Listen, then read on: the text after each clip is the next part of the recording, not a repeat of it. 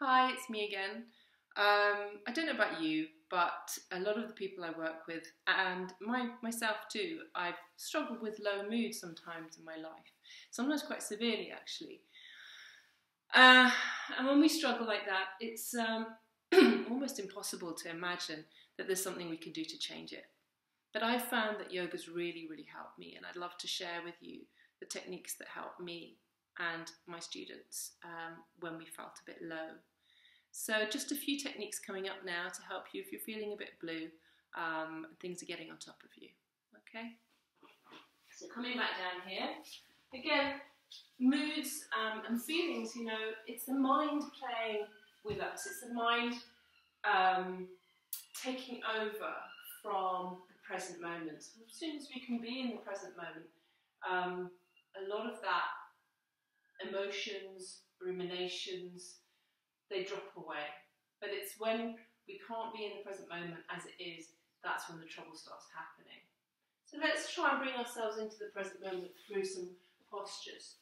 So first of all, I'd like you to just bring your hands to your heart like we normally do and become aware of your inner state.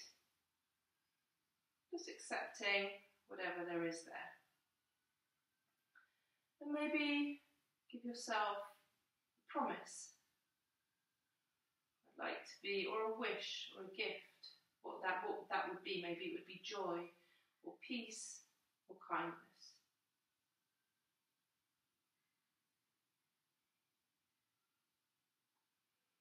And then we're going to just start with the self massage. So just put your hand onto your arm and just kind of massage your arms. So you start to feel your arms. You start to really kind of squeeze and release your arms. You can do it really gently, or sometimes people like it when it's a bit firmer, so you can really feel what's going on. squeeze and release, squeeze and release, squeeze and release. Going down to the, the palms, you can make circles with your thumbs, circle with your thumb and your upper palm, massage each finger so you start to kind of really feel alive in your own body you know sometimes we're not aware that we're a body we just kind of walk around like heads you know, just thinking about stuff all the time. We're not really enjoying our bodies, enjoying what this this body. This is where you live. This is your home. You know, rubbing the thighs, kind of like coming home to your body. Rubbing your belly, making a circle. Even rubbing your belly is something we often do when we've eaten and something's been tasty, but it's actually really helpful for digestion. You know, maybe giving your neck little rubs, so just releasing any tension in the lower, lower neck, upper neck, and then raindrops on your head. So just raindrops on your head. Be quite firm there. And then a little massage on the face. So fingertips between your eyebrows and then straight out to the side. And over the bridge of the nose, stroke out to the side. And then over the top of the lip, to the side, and then just little pinches along the chin, all the way out to the jaw, and then finally pinching the earlobes, give them a little tug there, and pinch all the way up the earlobes. These are acupressure points for anxiety as well, this earlobes particular point right towards the top there. And then shake it out.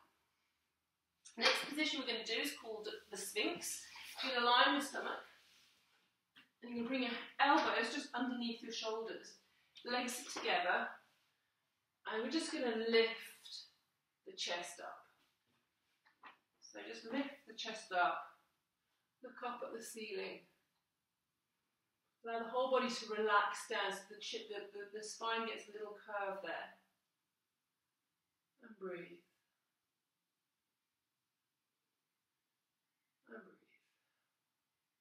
Sometimes emotions come when we do this, that's perfectly fine. And if you feel it's too much, you can just bring your hands down to a pillow and take a little rest for a moment.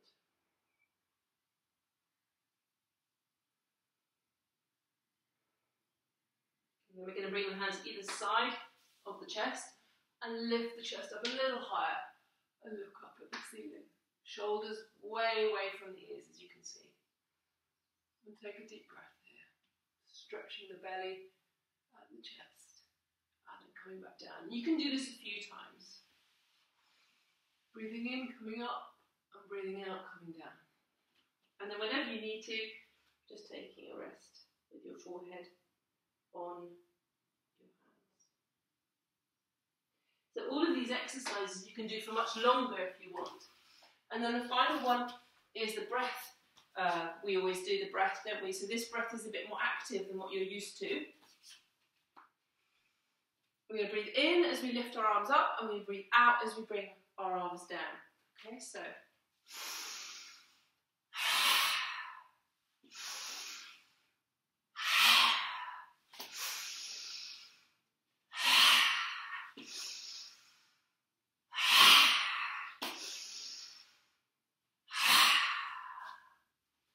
So that's all for today. Thank you much for watching. I hope it's been helpful.